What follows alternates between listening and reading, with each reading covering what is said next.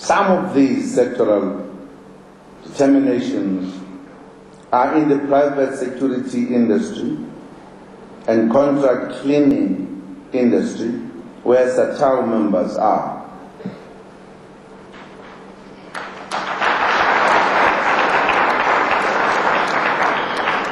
All these determinations and conditions must be realized, and the government will continue to ensure significant improvement in these sectors where employees are most vulnerable.